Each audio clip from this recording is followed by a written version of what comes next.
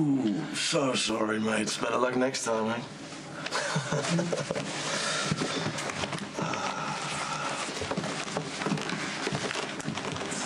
Engaging in a bit of private enterprise?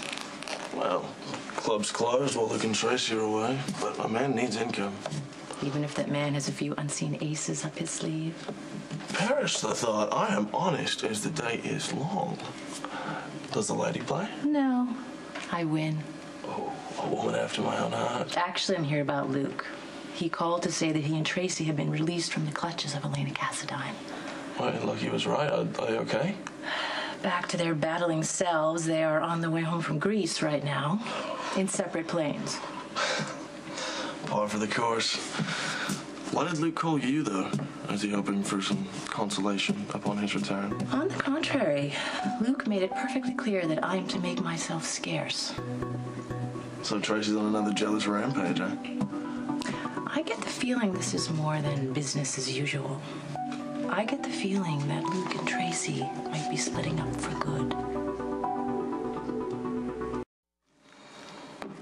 So Luke actually told you to stay away?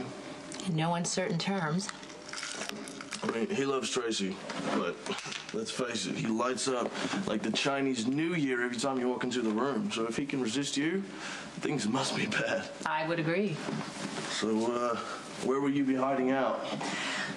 Well, I would be leaving town, but I do have some unfinished business, and it's nice to know that I can find a backup hero when I need one.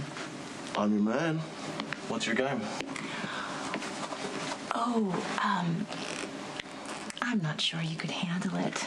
Oh, hey, my reputation may not be squeaky clean, but let's face it, neither is Luke's. And if you trust him, you can trust me. Well, that's true, but but there we go. I rest my case.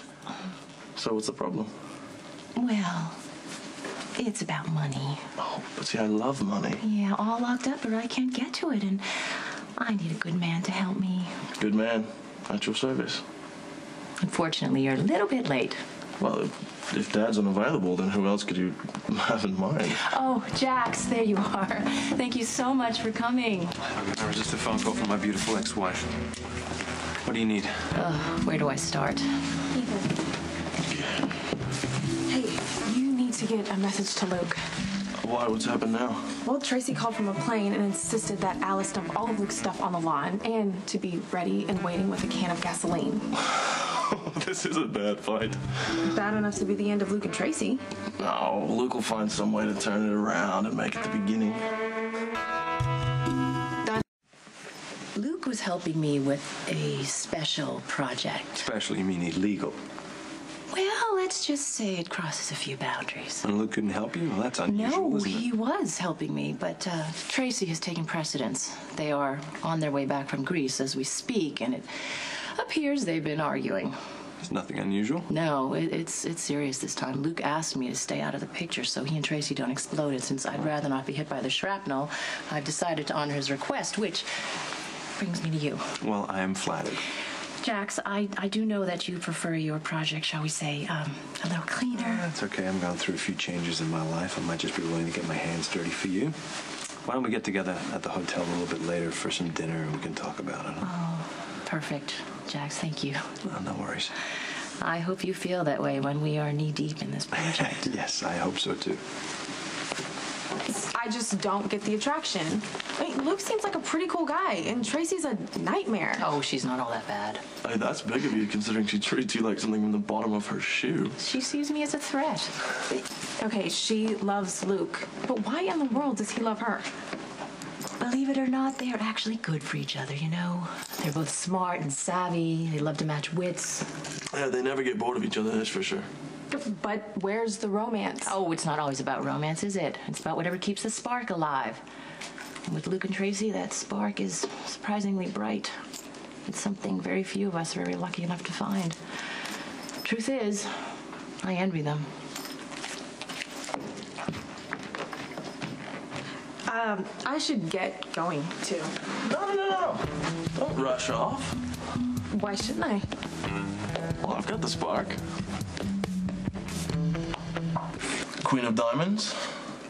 Two of spades. Ah, loser.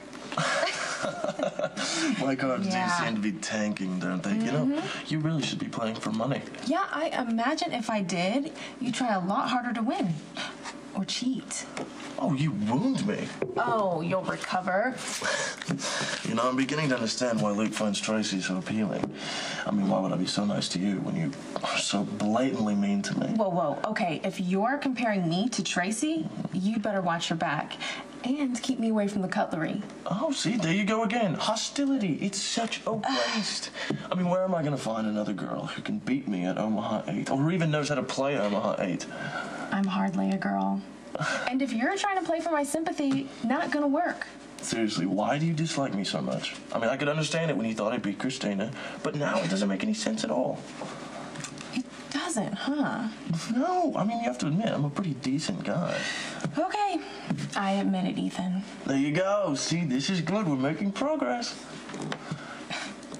You're also the kind of guy who's all flash and fun. The best time you've ever had until it all falls apart and something goes wrong. Call me hostile, okay? But I don't want to be around to watch.